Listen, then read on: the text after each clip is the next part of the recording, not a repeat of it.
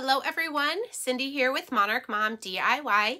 Thank you so much for joining me today on my channel where I love to bring you the best tips and tools for creating beautiful home decor on a budget. Today I am back with five more quick and easy fall home decor DIYs, so let's get crafting. For today's first DIY, we're going to be using these beaded hanger signs and make some two-sided Halloween and fall home decor. So the first thing we're going to do is taking these wood beaded signs that have the black. You'll see I had removed the beads from this one, but no worries, we're gonna add some beads back in. I love these signs, one, because of the beads added on there, and two, because it's so easy to get the backing in and out. Now here I am taking some time to remove some paper, but that is completely optional. You can just Mod Podge right over the backing, whatever it is. Next, I'm going to use my Fiskars paper trimmer and trim 5 inch by 5 inch square pieces. I'm going to do two of these Halloween squares, and then I'm going to do two squares that are more of a fall paper. Then taking some of my Mod Podge, I'm just going to brush that on one side of my backing for my sign. I'm going to spritz a little bit of water onto the back of the scrapbook paper. This just allows it to adhere even better to the Mod Podge without bubbles. Smooth that out and then we'll let that dry. So we're going to do this Halloween plaid paper on one side of each of our backings and then we're going to flip that over and do more of a fall paper on the other side. So these beaded hanging signs are going to have a Halloween side and just a general fall side.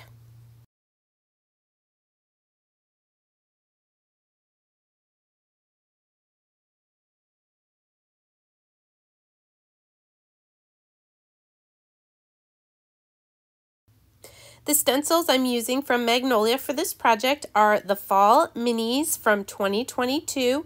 They are available on my Magnolia website, which is linked in the description box.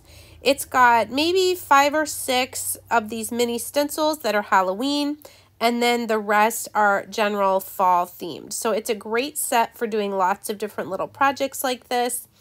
Then I'm just using my coal black chalk paste on these pumpkin shape cutouts. We do have a set of cutouts that has four leaves, four pumpkins, and four acorns. You'll see me use the leaf and the acorn for the fall side of these two signs. The peel and reveal is always the most exciting part when you see the gorgeous stenciled image that you've made.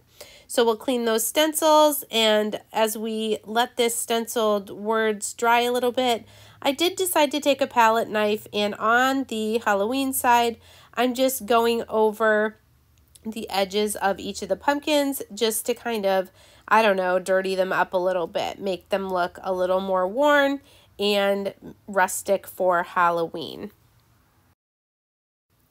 Now for the fall side of each sign, I'm going to use one of these leaf cutouts for one of them, and then we'll use an acorn for the other one. This one being Fall Sweet Fall, and then the other one will say Fall in Love. I love making projects that can stay out for more than just one holiday or season. So you could start with this sign hanging on the fall side, then flip it to Halloween for October, then flip it back to the fall side for November. And here's your peel and reveal using two colors on this stenciled image. And then we'll use two colors as well on the Fall in Love on the acorn.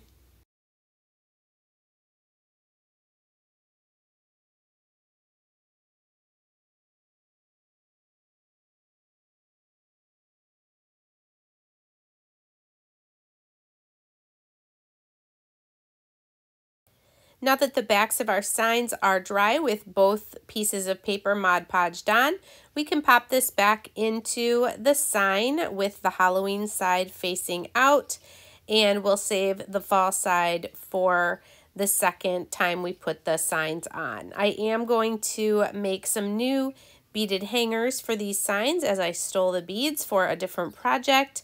And I'm using this fall set of beads that I purchased on Amazon.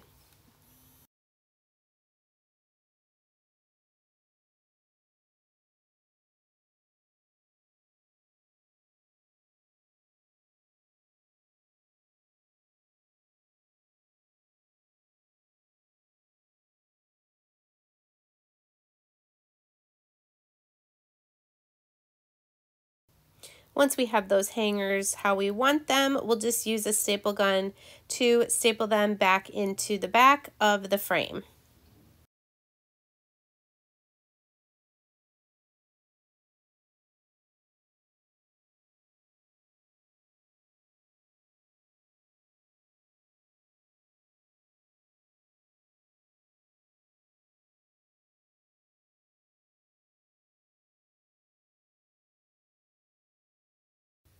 I did spray my stenciled pumpkins, leaf, and acorn with a clear matte spray just to make sure that our chalk paste is now permanent on our pumpkin.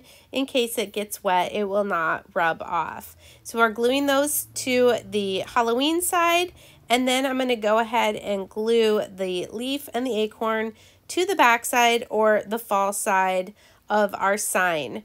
Then when we want to change it, we can simply lift the tabs and turn our backing sheet around and have our sign now be for fall instead of Halloween.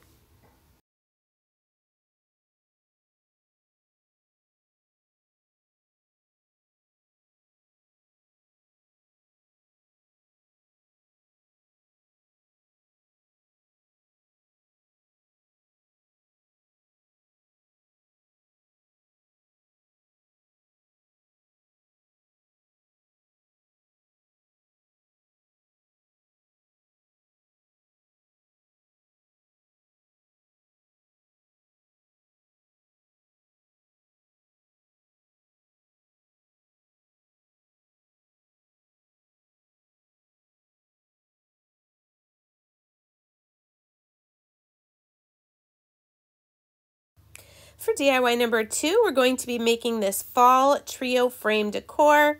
I have these three clip frames that I've already attached to these two pieces of barnwood, but you could use these mini wood pallets from Dollar Tree or these other frames that have the little brackets. I just like the set of three.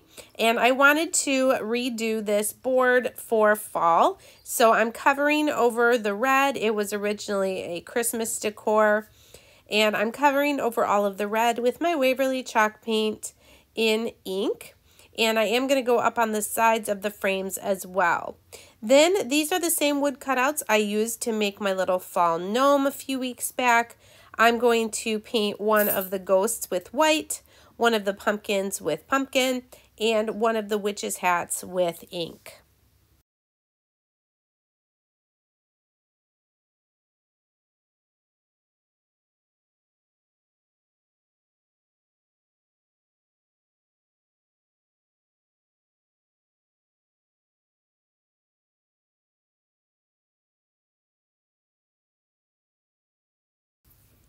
To add some more interest to my sign, I have this burlap and black um, ribbon, checked ribbon that I got at Hobby Lobby.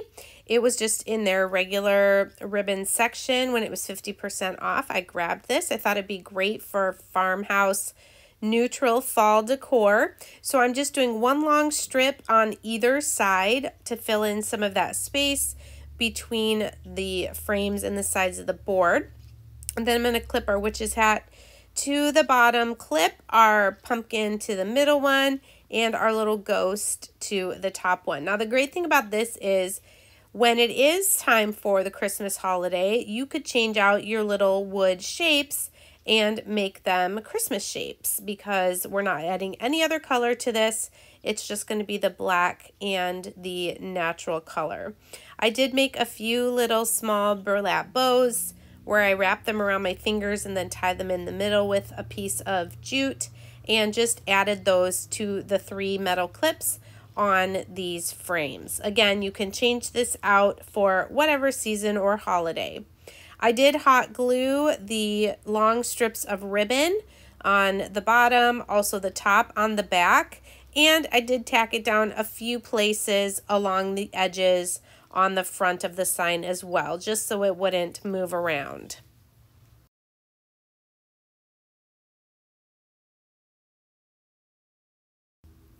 Last, I'm going to take another loop of this same ribbon and also a long piece. We're going to tie it in the center with jute and make a cute little simple bow.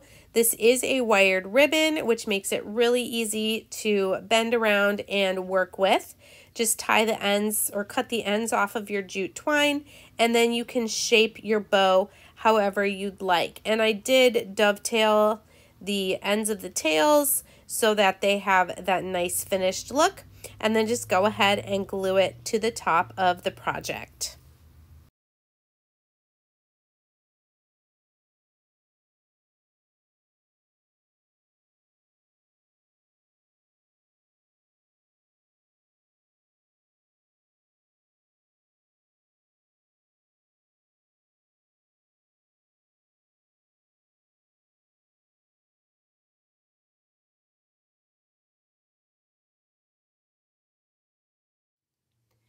You're stopping by my channel for the first time today, welcome. I'm so glad that you found me.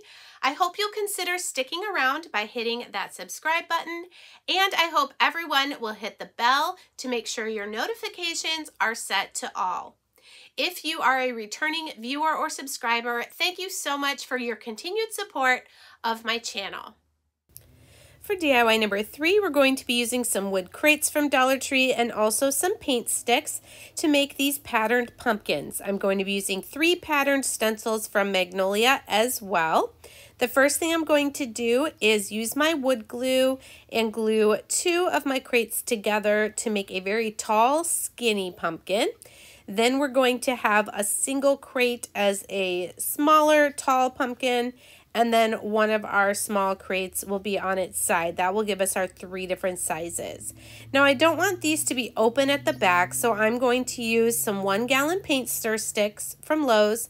I'm marking off where I will need to cut my pieces so that I can glue those across the back and make these just hollow boxes rather than empty crates with that um, backside open. I'm going to glue these paint stick pieces on with my wood glue as well and use the wood glue to kind of seal the sides of each crate.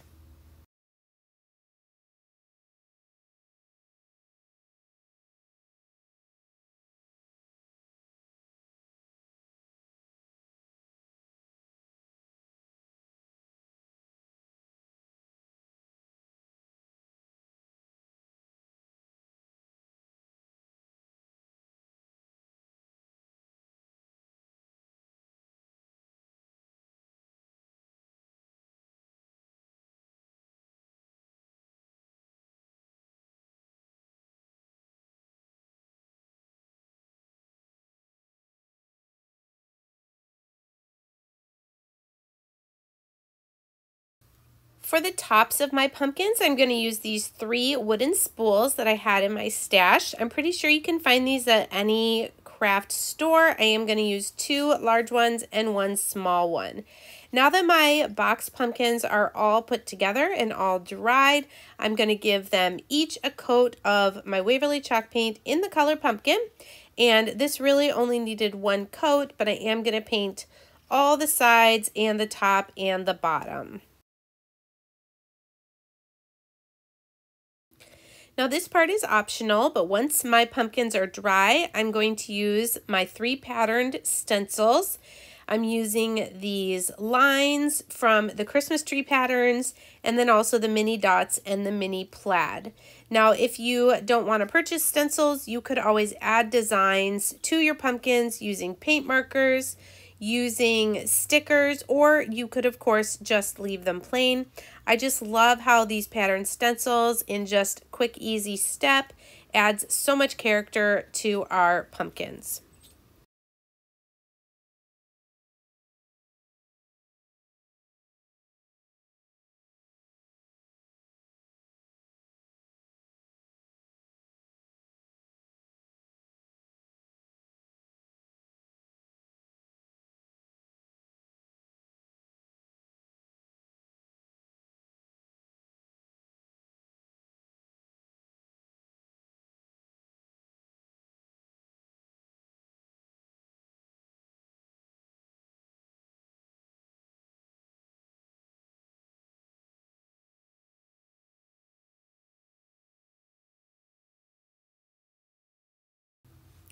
Once our pumpkins have their pattern all over them, I did spray them with a clear matte spray. Then I'm just taking some leaves from some Dollar Tree florals, gluing that down on the top of the pumpkin, and then gluing our little spool painted with truffle chalk paint. I did make some more of the jute twine simple bows. And I'm also going to take three long strands, tie them in a knot around the stem or the spool, and then cut them like little tendrils just coming off um, from the stem, like they're left over from the vine. I just think this adds a really cute farmhouse touch and you can trim those as long or as short as you'd like.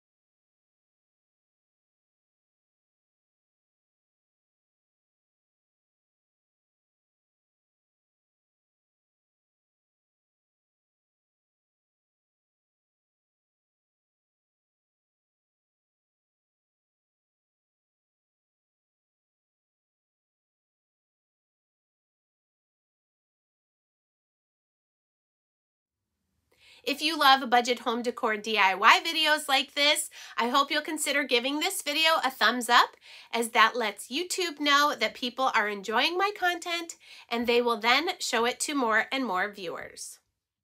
For DIY number four, we're going to be using one of these triangle signs from Dollar Tree as well as some of these giant craft sticks from Walmart's craft section to make a simple but cute little candy corn decor for the fall. So here you can see I'm flipping it around and marking where I need to cut each of my craft sticks.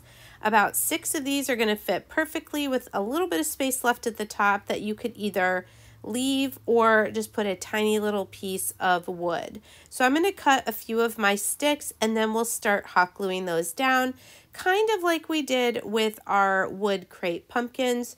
We're just closing off that open back side to make a hollow solid shape.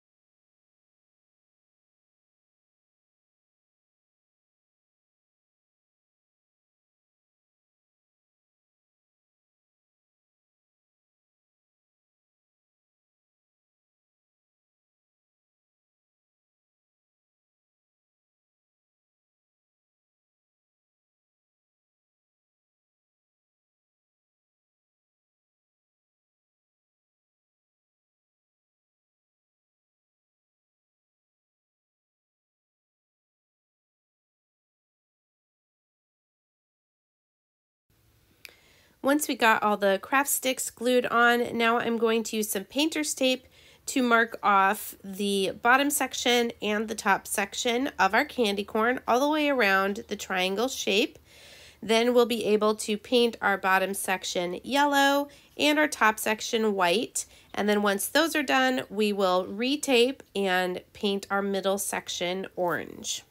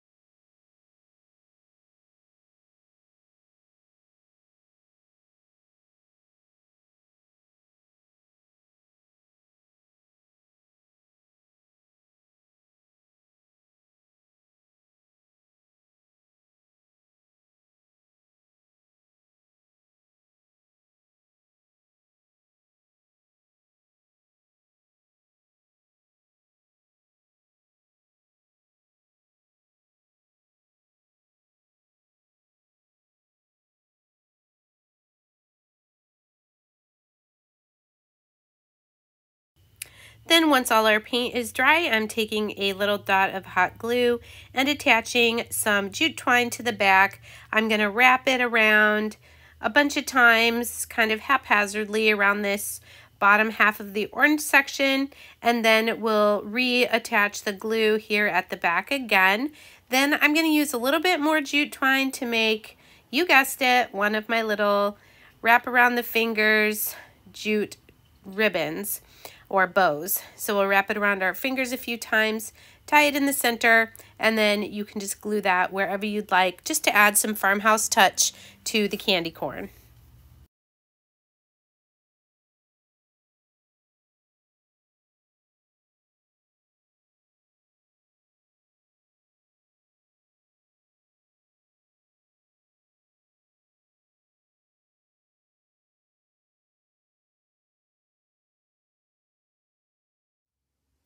Please check the description box below the title of this video for a list of all of the supplies I've used in today's projects, as well as links to my Facebook group for Monarch Mom DIY and my Magnolia Design Co. website.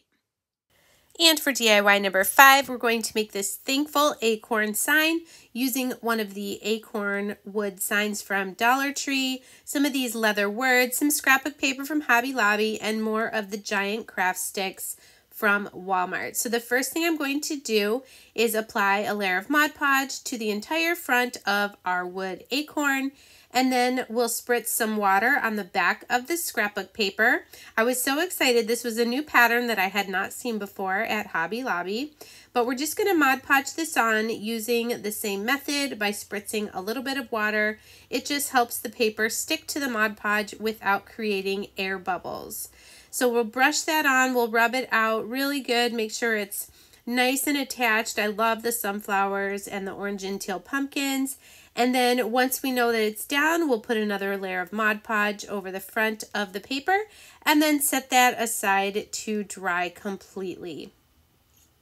Now for the top part of the acorn, we're going to use some of these giant craft sticks. We're just going to use the rounded ends, and I did save the middle part of the sticks for another project, but I'm going to cut, um, I can't remember how many I did, maybe 15 to 20 of these sticks, and I cut both of the round ends off. Then we're going to use our antique wax. We're going to brush it on and then wipe off the excess to get a nice dark stained wood color to these little rounded ends of the craft sticks. Then once our scrapbook paper is completely dry, we'll flip it over on our cutting mat and using our Fiskars fingertip knife, we're going to trim away all the excess scrapbook paper that's around the edges of our acorn. Once the paper is cut away, I will also use my small little sander in a downward motion to get any extra little bit of overhang of the paper off and get a nice smooth edge.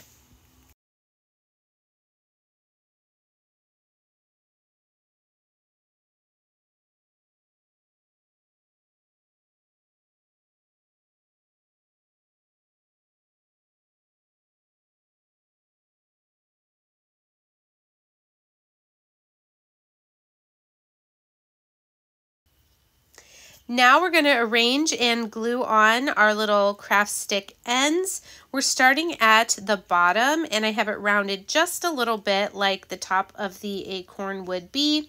And then we'll do one row at a time, applying new ones um, kind of in between the previous two. So we'll make about four rows of these and I'm just going to place them and then once I like how they're laying I will go ahead and glue them down.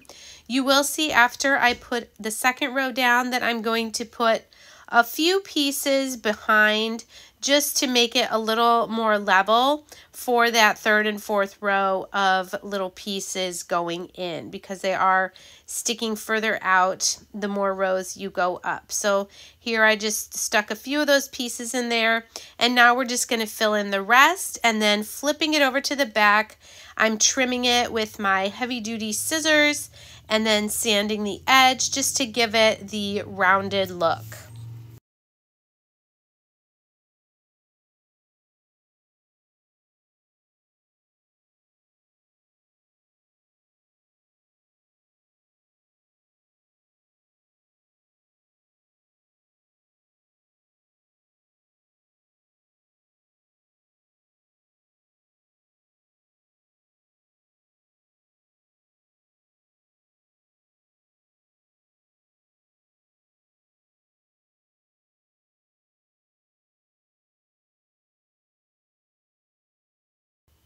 Now you can see I have the top part almost finished. To place these last couple, I'm just kind of drawing a line with my pencil to match the rounded edge of the top already. And then we'll glue these last two pieces of our acorn top into place.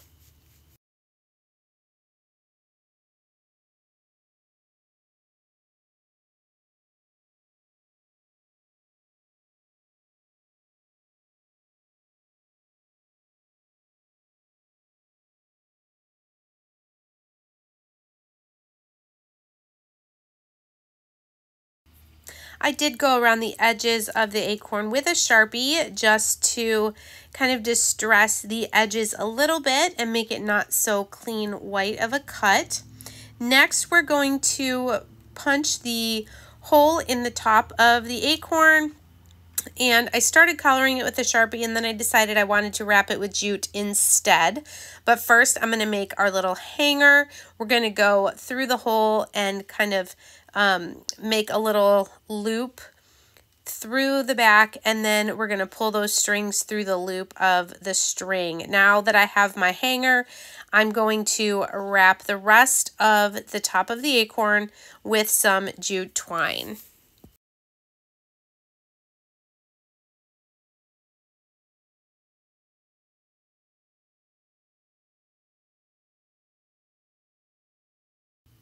Once we have the top all done, now I'm using one of these faux leather words that says thankful.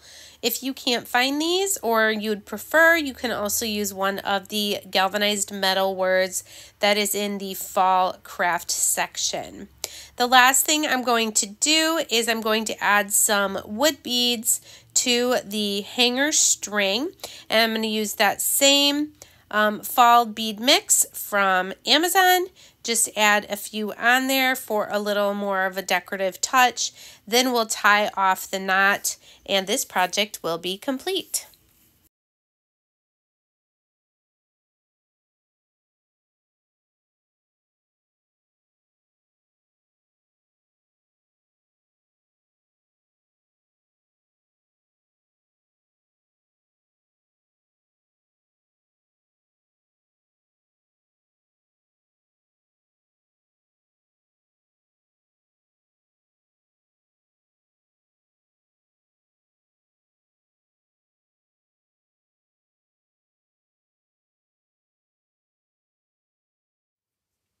Thanks again for joining me today. Please let me know in the comments which of these projects was your favorite, and we'll see you next time. Take care.